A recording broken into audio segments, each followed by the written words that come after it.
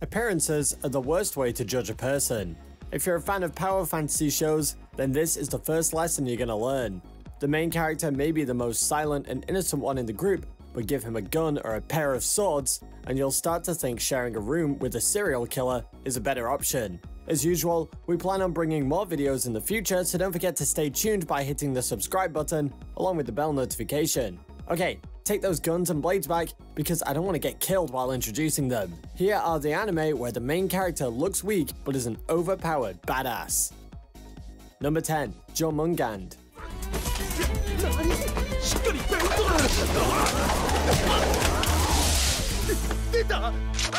Let me tell you something, little kids aren't family friendly these days. You may look at a child and think he's cute, but the next thing you know, he'll be quoting philosophy and shooting guys in the head.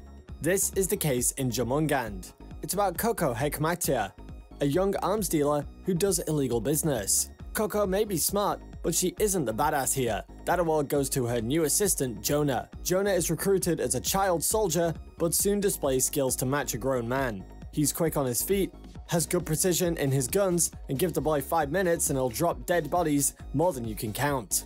If you need a fun action anime with heists and bucket loads of revenge, this is the show for you. Number 9. B the beginning.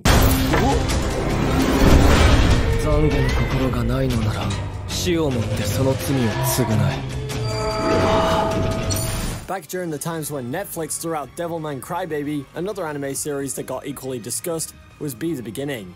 B the Beginning happens in a technologically advanced world where a serial killer called B leaves out a blood trail in the city. Now it's up to a detective named Keith to find out the reasons behind these killings. It is amazing how B the Beginning combines a simple yet engaging mystery to a larger plot involving supernatural events and criminal organizations. B the Beginning is honestly one of the best mystery anime you can binge watch. If you haven't heard of this one, it's because it's underrated, but the show's characters, animation, and its mystery is indeed top notch. You'll soon start to like Koku, who, similar to Jonah, looks weak but in truth can take down enemies within a second. Number 8. 100 100 may feature the good old mecha versus evil alien battle, but one main reason to watch it is the main character of the show. Here we have Hayato Kisaragi, who, at first, may look like a weak and clumsy boy, but put him in an arena and you'll soon lose your bet. His ability known as Variant gives him a higher reaction score, and when his life is on the line, he enters a state referred to as Raging Berserk. If it's not obvious from the name itself, this is where he manages to go into rage mode with his powers surging through him. His training has also granted him sense energy, which is used by him to create E-barriers to defend himself and accelerate to propel himself forward. In short, there's a reason why girls like him. Number seven, I'm standing on a million lives.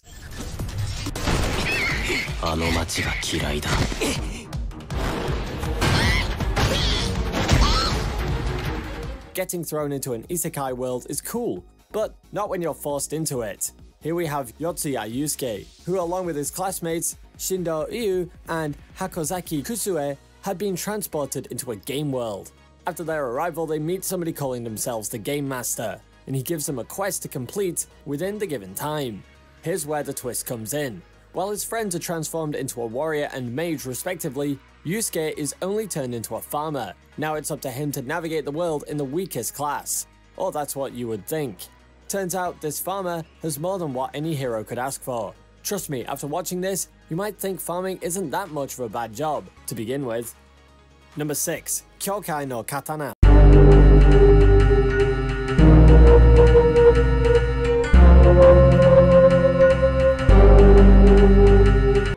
Let's move away from the fantasy a little bit and head towards a world of supernaturalism. The story starts when Akihito Kanbara saves his fellow schoolmate Mirai Kuriyama from committing suicide. But after he is accidentally stabbed, Mirai learns that Akihito is actually half human and half Yomu. Now she is dragged into a world of humans and monsters as she struggles to overcome her own life problems while also trying to protect herself from the monsters hunting her. Akihito, on the other hand, isn't your average high schooler either.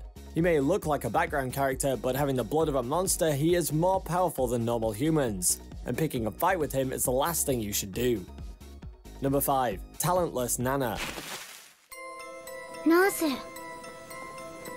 僕は今からこの子に殺されなければならないのかだろ By now, you should know talentless means that she's actually very talented. in this case, she's talented in assassinating people. Let me back up and explain. This happens in a world where children and powers are born and the government views them as enemies. These children are sent to a deserted school where they should survive on their own. Along comes a transfer student, Nana, an assassin sent over by the government to kill the students. Nana may look like a cute girl doing a cute thing, but there's nothing cute with assassination, is there? Nana may appear like a regular high school girl, but no one is safer when they are alone with her. So the next time you play Among Us, you know what to do when a person called Nana is there in your party. Number 4. Wandering Witch The Journey of Elaina.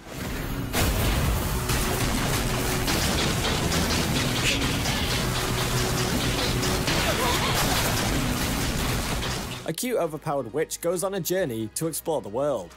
What other way is there to explain the journey of Elaina? If you want to follow the adventures of a cute white-haired witch, then add this one to the watch list. If you want the synopsis in a single sentence, there's a witch named Elaina who had a long ambition to travel around the world. And in this anime series, she finally does that. Yep, it's that simple. The story is straightforward and unlike most fantasy anime doesn't involve wars and tragic character deaths in its premise but the story can be really interesting because of its pacing. The world around Elaina is shown through the story as she gets involved with different characters and their struggles. And as you move along the anime, you can see how Elaina shows off that cute is the last thing she could be. Number 3. Cagaster of an Insect Cage.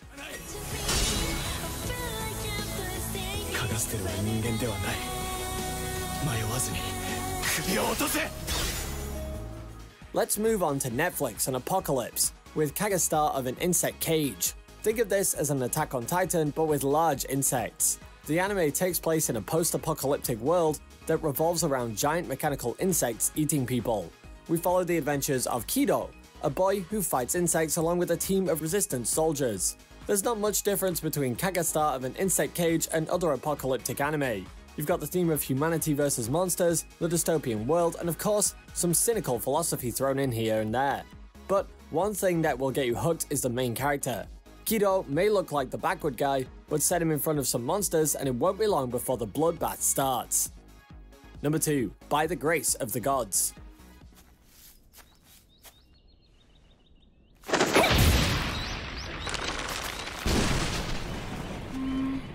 Life always gives you second chances, and By the Grace of the Gods tells the story of a man who got a second chance in his life. Ryoma Takebayashi is a lonely man who led a life filled with hardships until he died from an unfortunate accident and got reincarnated in a fantasy world as a child. Here, he makes use of his innate knowledge and abilities combined with the blessings he received from three goddesses to lead a new life and start a new adventure. If it isn't obvious, this anime belongs to the isekai anime with the overpowered protagonist niche. You may argue Ryoma looks like a kid, but you saw how Jonah from Jormungand looked like a kid and still killed people, so you better stop your arguments right there. Number 1. Kara no Kyokai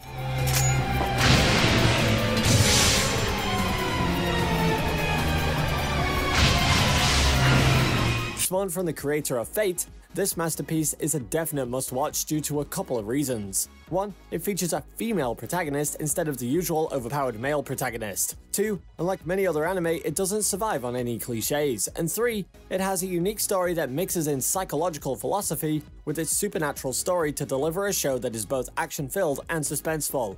Kara no Kyokai is about Shiki solving supernatural mysteries with Mikiya Kokuto in a detective agency. Shiki has the mystic eyes of death perception, which can see the lines of death of anyone, whether they are living or non-living. By cutting these lines of death, she can shatter their existence, which means she can kill them even from a distance.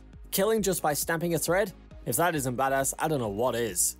So, did you see some underestimated guys and girls who are actually badass when they are called for the action? As I said, appearances can be deceiving. Let me know down below in the comments what anime you're planning on watching, and don't forget to hit that subscribe button so you won't forget to watch the videos we're releasing next. Thanks for watching, Anime Geeks, and I'll see you in the next video.